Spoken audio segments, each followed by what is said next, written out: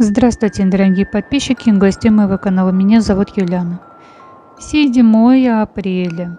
День Благовещения. Это один из самых любимых народных праздников. Считается, что этот день, как и Пасха, самый великий и самый сильный.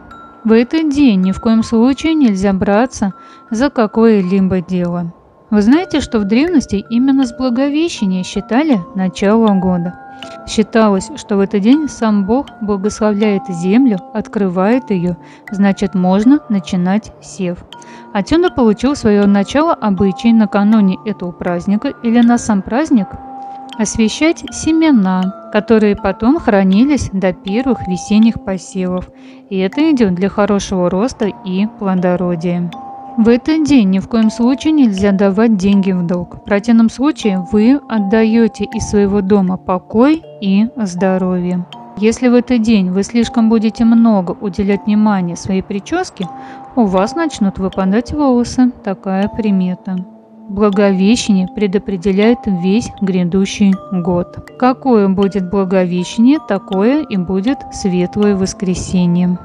Но вы знаете, что в этот день вы можете попросить себе счастья. Как привлечь счастье в свою жизнь? Сегодня я вам дам очень сильную практику. Данную практику можно сделать при помощи выпечки. Если вы сами будете выпекать, это будет очень хорошо. Если вдруг у вас не получается, то идите в магазин и покупайте самую лучшую выпечку, которая вам понравится. Это может быть все что угодно. Далее, когда уже ваша выпечка в ваших руках, садимся пить чай. Берем свою выпечку.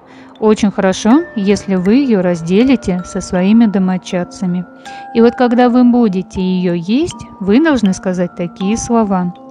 Жизнь сладка будет, мягка и счастлива, как мой пирог – по вкусу сладкий, так жизнь моя будет сладка. Счастье в свою жизнь приглашаю, и у себя его я оставляю. Да будет так.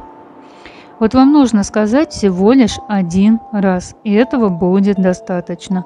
Но выпечку нужно полностью съесть в этот день. И вот тем самым, если вы сделаете эту практику, то вы обязательно привлечете счастье в свою жизнь.